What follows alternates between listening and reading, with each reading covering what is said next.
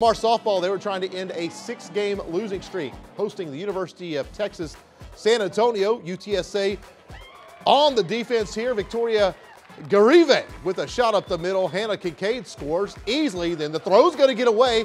So here comes Mackenzie Brown. It's a 4-3 lead for Lamar.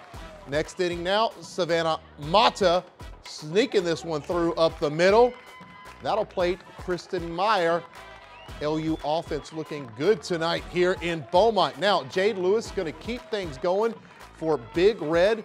Lewis is going to rip this one to center field. It's going to go all the way to the, raw, to the wall for a two RBI triple, and the Cardinals take it. Your final seven to six.